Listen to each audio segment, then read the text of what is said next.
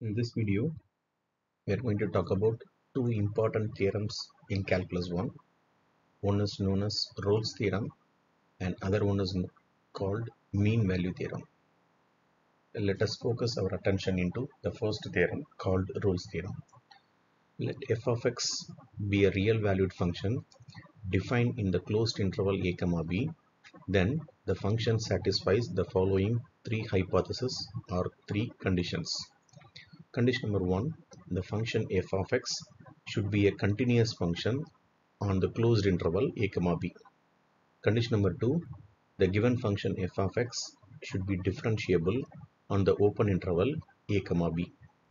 Condition number three, the function value at the point a should be equal to the function value at the point b that is f of a is equal to f of b if all the three conditions are satisfied by the given function then there should be at least one point I can find that point I denoted by c where this c should lies in the given interval a comma b such that the first derivative at the point c should be equal to 0 let us see an example to know better Rolle's theorem. Verify Rolle's theorem for the function f of x is equal to x power 2 minus 5x plus 6 on the interval 2 comma 3. So here the starting interval a is 2, the ending interval b is 3. What is our condition number 1? The function f of x should be a continuous function. In lower classes we have learned all the polynomial functions are continuous. So this is a polynomial function, it's a quadratic function. This is a continuous one. So I say the function is continuous on the closed interval a comma b. Of course here I can say that 2 comma 3 because a value is 2, b value is 3. Second um, condition, the function should be differentiable in the open interval 2 comma 3. So let us find the derivative of the function. So the derivative of x power 2 will give you 2x. The derivative of the second term minus 5x will give you minus 5. Then what I do, I have to set the first derivative value equal to 0 to know the critical point C. So that means 2x minus 5 equal to 0 or x 2x equal to plus 5 or I can say x equal to 5 by 2 okay. As per the Rolle's theorem the third condition will be f of a should be equal to f of b. So here I have to calculate f of a. That means I need to find what is the value of the function f at the point 2 that is I know to I have to know what is f of 2 to know f of 2 what I do? I have to replace the x value in the given function by 2 that is 2 power 2 minus 5 times of 2 plus 6 okay? So that is in the function wherever you have x will replace by 2 so that will give you 2 power 2 4 5 times 2 minus 10 plus 6 so I can say f of 2 value equal to 0 similarly I have to find f of b. What is f of b? F of b means f of 3 so now I have to replace x value by 3 in the function. So 3 to the power 2 minus 5 times 3 plus 6 this will give you 3 power 2 is 9 minus 15 plus 6 so f of 3 value also equal to 0 so f of 2 value is 0 f of 3 value also equal to 0 so from this I can say that f of 2 is equal to f of 3 then as I told you before we need to find the critical point. We have already calculated the critical point here. So I have got x equal to 5 by 2 so 5 by 2 means what? This is nothing but 2.5 now what you do you have to check whether this point lies on the interval. Here what is my interval? My interval is closed interval 2 and closed interval 3 2 comma 3 so this point 2.5 it is somewhere here. So that means this point lies on the interval 2 comma 3 since this point critical point lies in the interval 2 comma 3 I can say the Rolle's theorem verified. Suppose if the point lies outside the interval then I can say Rolle's theorem is not verified for the problem. Let us move to the second question. Verify Rolle's theorem for the function f of x equal to x power 2 plus 2x on the interval minus 2 comma 0 so here this is where a and this is where b. So as usual let me write the first two conditions. F of x is continuous because it is a polynomial function. F of x is differentiable on the open interval minus 2 comma 0 so differentiable means I can find the first derivative.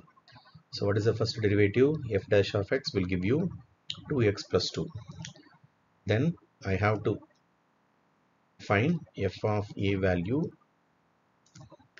and f of b value.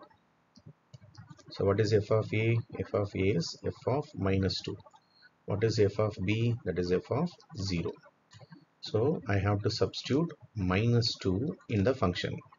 So that will give you minus 2 to the power 2 plus 2 times of 2 what is f of 0 f of 0 means I have to substitute 0 in the function. It is 0 power 2 2 times of 2 by simplifying this will give you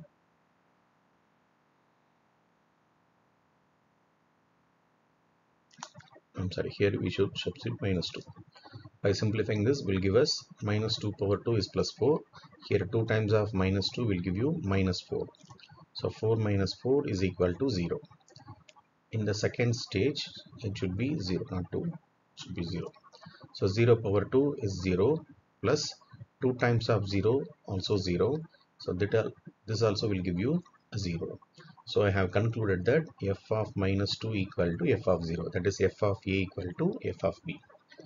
So all the three conditions satisfied by the function. Then I have to find the critical point. So what is my critical point? My critical point is setting the first derivative of value equal to 0 and I replace x value by 2 so that will give you 2x plus 2 equal to 0 I have to change x equal to c. So 2c plus 2 equal to 0 2c equal to minus 2 divide both side by minus 2 will give you minus 2 by 2 not by minus 2 divide both side by plus 2 will give you minus 2 by 2 so I have concluded that c equal to minus 1 then I have to check whether this critical point is lies on the interval my interval is minus 2 comma 0 it is a closed interval. What is the point we got so far? The point is minus 1 so this point should lies inside the interval. So I say the critical point is minus 1 which is in the interval minus 2 comma 0 and I have declared that the Rolle's theorem verified. Now let us move on to the second theorem called mean value theorem for mean value theorem also the first two conditions are similar to the Rolle's theorem so the first condition is f of x equal to f of x is continuous on the interval closed interval a comma b. The function should be differentiable on the open interval a comma b. Then instead of the third condition here we have the other condition. The other condition is I can find at least one point c in the interval a comma b such that f dash of c should be equal to f of b minus f of a divided by b minus a. Let us see one example. Verify mean value theorem for the function x to the power 3 minus 6x in the interval 1 comma 3. So here a value is 1, b value is 3.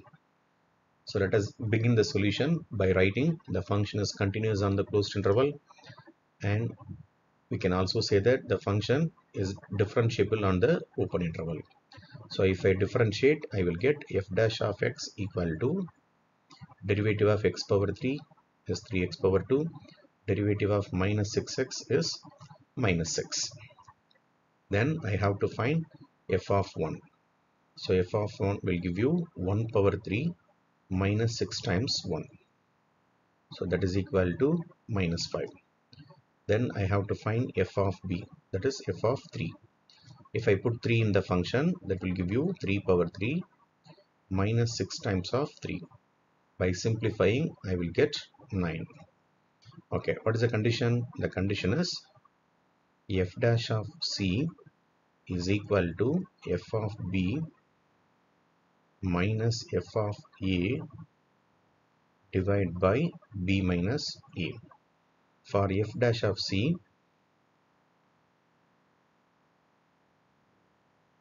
we know that f dash of x is 3x power 2 minus x. So what is f dash of c? F dash of c is nothing but 3c squared minus 6